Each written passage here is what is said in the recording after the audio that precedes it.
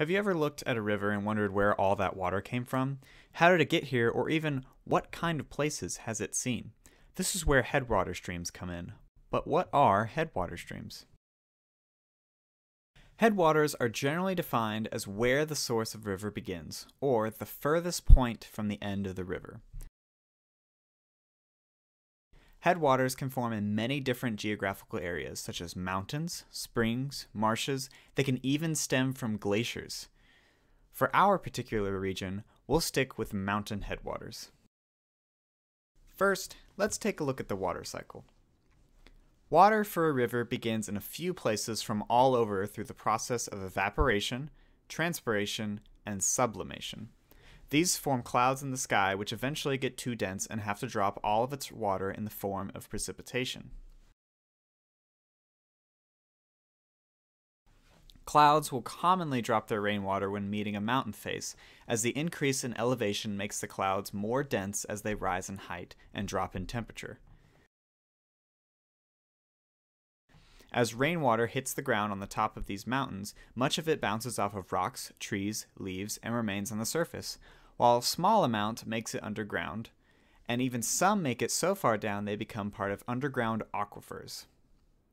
Alright, so the water is now on the ground, but where is it going to go?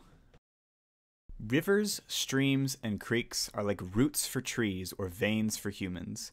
They carry energy from multiple places to one. Just like energy, water is always trying to find the path of least resistance. Assisted by gravity, slopes, and many other small factors along the way, freshly fallen water will begin to accumulate in small crevices along the mountainsides, forming our first headwater streams. They won't form just in one spot, though, but all over the mountainside, starting off just as little trickles of water. Eventually, these will gain ground, accumulating more water as they dive deeper towards the valley, trickling into other trickles and forming a stream. Remember the water that made it underground? That provides a constant flow for the stream through seepage. Those streams crash into other streams until the once gentle stream flows into a roaring river. Altogether, all of these headwater streams, creeks, and rivers form what is called a watershed. This is where all of the streams and rivers drain to a common outlet. The outlet doesn't have to be the ocean, but can also be a lake or a small pond. It all depends on the scale in which you examine water flow at.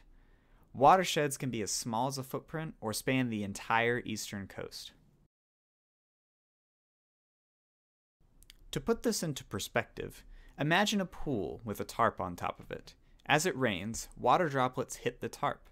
With gravity, the droplets slide down from the higher points of the tarp down to the bottom, eventually forming a pool of water. The tarp all the rain droplets that hit the tarp and the pool of water in the tarp is the watershed. On a larger local scale, the Asheville area practically sits between two predominant watersheds. In particular, if water falls on the western side of Mount Mitchell, it'll eventually flow into the Tennessee watershed, and eventually the Mississippi River, where it will dump out into the Gulf of Mexico. For the eastern side, it'll flow east into the South Atlantic coast, eventually flowing into the Atlantic Ocean. That's quite the adventure for a little water droplet. In the world of conservation, protecting headwaters and watersheds is an important aspect of our work. Even though headwaters are small, they are one of the most important aspects of a watershed. In fact, headwaters make up of half of all the total river miles in the United States.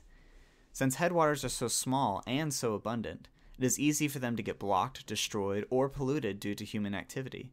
Since the water for our rivers begin here, if they are polluted or tampered with, this affects the overall health of the river for everyone.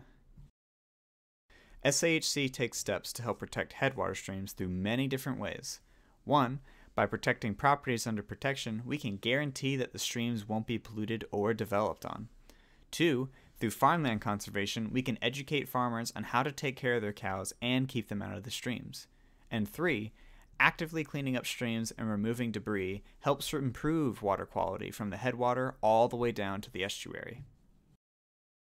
Even though we are located in the mountains and have access to such clean water, it's our responsibility to keep it clean and be fair to those who live downstream from us. Still curious about headwaters and watersheds? Check out the links below to explore your own watershed to find out where your water goes, or to learn more about how water moves through the land. Thanks for watching, and as always, stay curious.